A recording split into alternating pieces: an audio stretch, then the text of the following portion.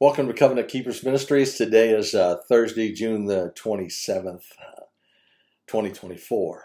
And we started this week by sharing what Paul told the churches in Lystra, Iconium, and, and Antioch in Acts 14 22.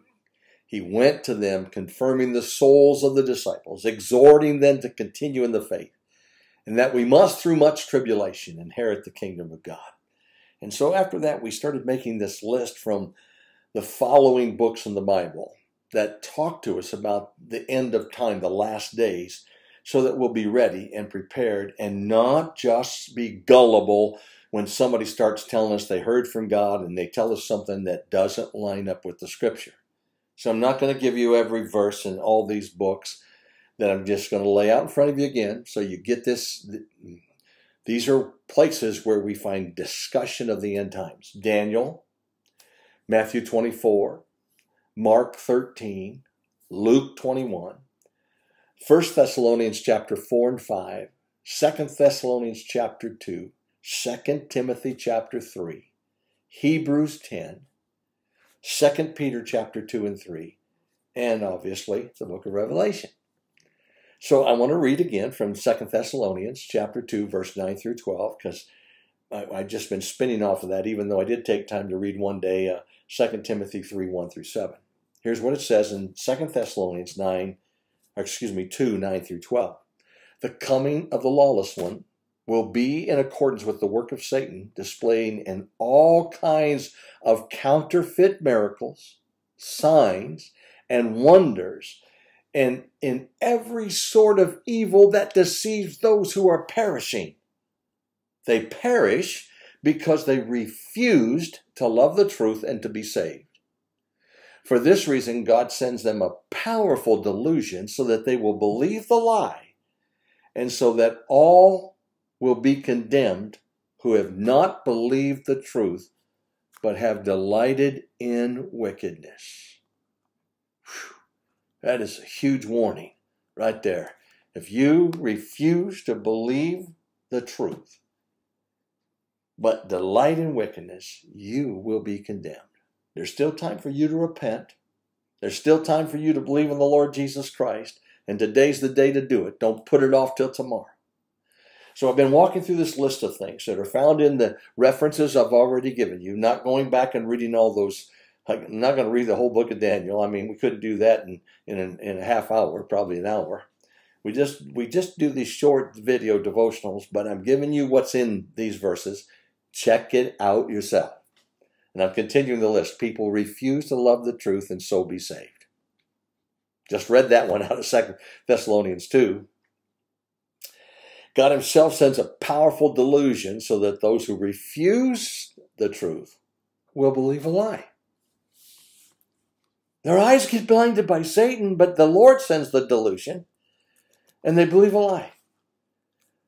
Terrible times are coming. Terrible. And what happens is people end up loving themselves and they love money. Want some more money. Greed. But loving themselves.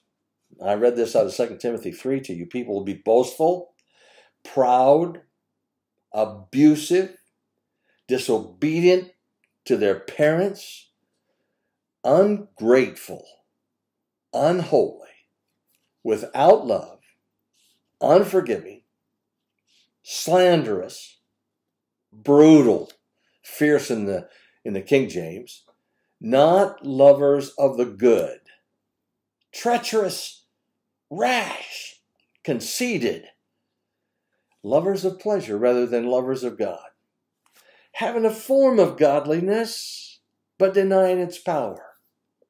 And we're warned, have nothing to do with them.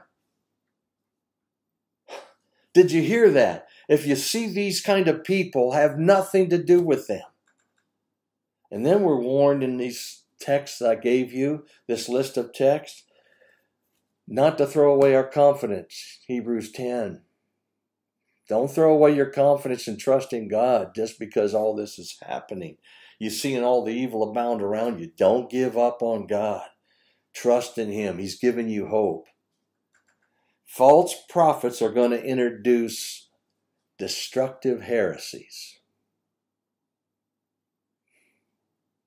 Be careful.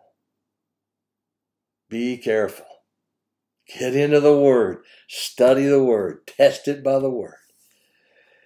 Teachers will exploit you with stories they make up. I've watched some guys that I know personally tell stories, claim they were theirs, and they were not a part of it at all. Scoffers are going to come, and they're everywhere, aren't they today? In fact, I've been I've been watching some things that oh my goodness, my alert is on full full blown. These people are talking about God and using His name and and in a, in a respectful way, but living in adulterous, sinful ways.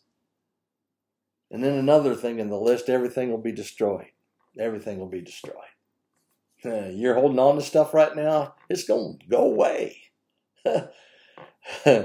I'm telling you, this is the word of God. It's not, I didn't make this stuff up. Okay. Now let me read 2 Peter chapter 3, verse 9 and verse 13. The Lord is not slow in keeping his promise, as some understand slowness. He is patient with you, not wanting anyone to perish, but everyone to come to repentance. But in keeping with his promise, we are looking forward to a new heaven and a new earth, the home of righteousness. Praise God. Not once in all these verses do we read anything about an end time revival.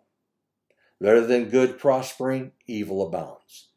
If you hear anything to the contrary, it's false prophecy. God did promise as long as there is earth, there will be seed time and harvest.